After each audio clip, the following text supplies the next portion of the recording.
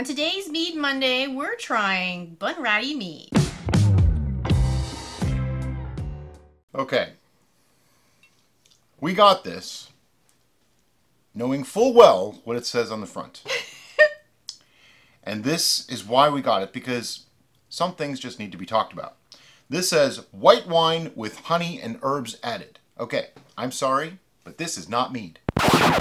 This is white wine with honey and herbs added. So it's going to be judged as a white wine with honey and herbs added rather than a mead.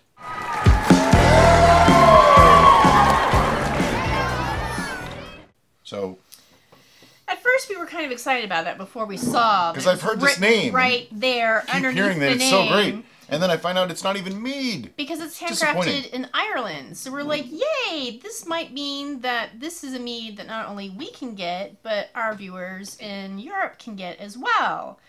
And then right underneath the name, white wine with honey and herbs added. And, we're And they like, talk about mead on the back and how it's this ceremonial thing and all this. Why didn't you actually make mead then? I'm sorry, that just kind of bothers me. But anyway, we're going to drink it. Now, it does give tasting notes or serving suggestions, I'm sorry. And it said chilled. And it said chilled. Ours is not chilled. Ours, Ours is about 70 degrees, which makes it less than chilled. So that may, well, it will alter the flavor profile. And the thing is, they say with herbs and spices added, but they don't say which herbs, they don't say which spices. It does contain sulfites, which I'm not surprised because they made a white wine and then added honey to it, and they had to stop the fermentation somehow.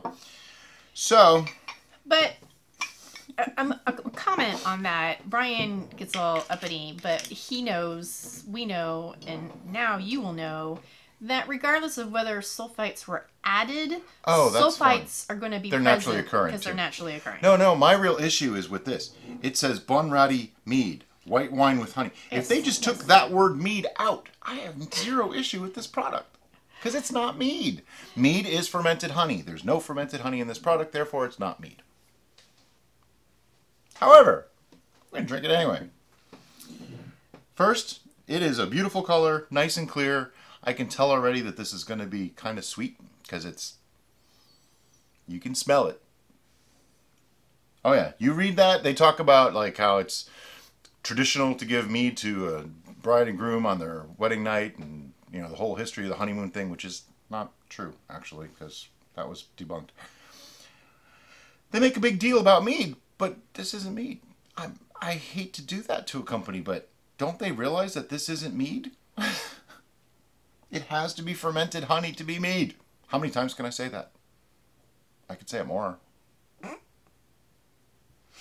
They do have some interesting um, suggestions here. They said Bunratty mead can be drunk chilled before meals or as a relaxing after dinner drink.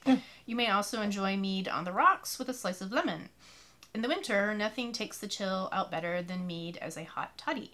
And you may wish to drink it at dinner with your chicken, turkey, or game. So they give you serving Yeah. suggestions. It's they white give wine. you food pairings. So I It's white wine. What do you drink white that. wine with? So on the scent, I am getting honey and I am getting herbs.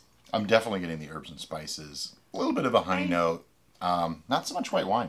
This is 14.7 ABV, so And I like expect some ethanol. when I inhale deeper to try to determine what type of herbs are in there, I'm thinking coriander. it bounces back and forth between the honey and the herbs. And so it's very difficult to determine. coriander, juniper, and uh, oh, there's one other thing in there. Could even be like rosemary. it's Um, it's light on the rosemary if that's what it is, but Yeah. that's what I was thinking. I get a pine type thing in there. it's it's kind of earthy. Coriander's definitely in there. Juniper too. But anyway, I'm gonna, I'm gonna try it. It has a pleasant aroma. Okay. It's a basic white wine. It has honey and some herbs, at, herbs and spices added, as we said. But that's exactly what it tastes like too. It's kind of thin, a little bit watery. Yeah, The, flavor's not unpleasant. It's just not really all that great. It's not you that can strong. taste the honey because the honey was added pure. It's not fermented. Mm-hmm. Um, but it definitely doesn't taste like mead. Nope.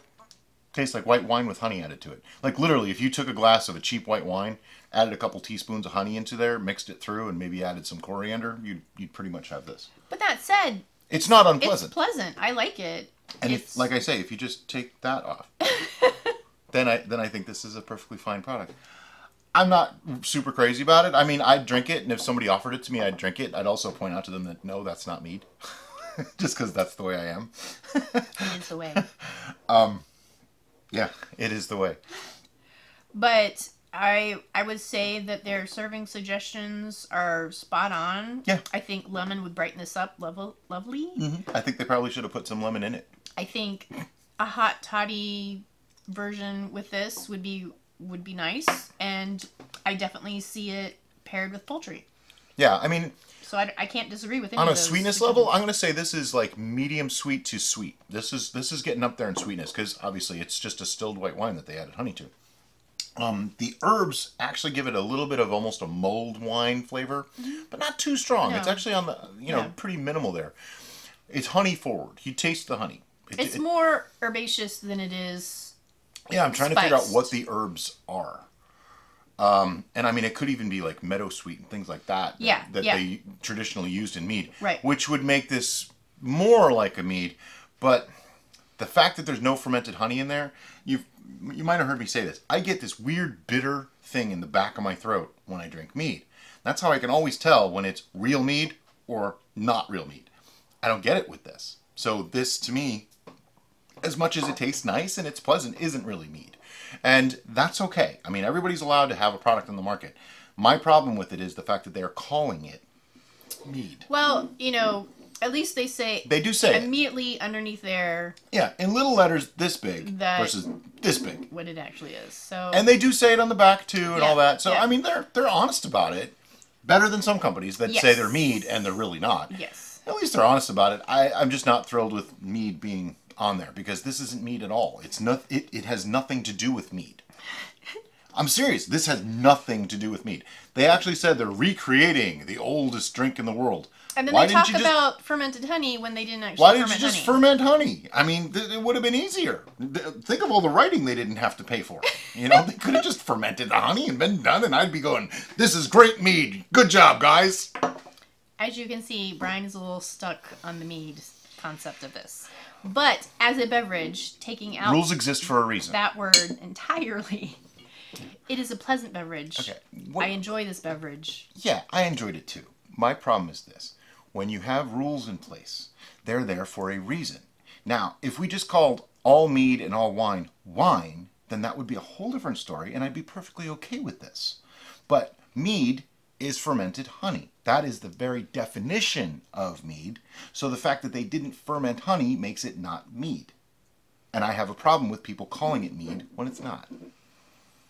But they even put brand underneath there, and then they have the little TM. So it's like Yeah, that's the name, not the product. it's all marketing. It's Bunratty Mead brand. That's that's marketing. But that's deceptive is my point. If they had put Bunratty Mead brand white wine with honey and spices, all good, and I probably wouldn't have bought it. I- you know, I'm just being truthful Okay, here. well- this is what Mead Monday is about, and this isn't mead. So that, there. On that note, But as always, guys, thanks for watching, and have a great day. bye bye.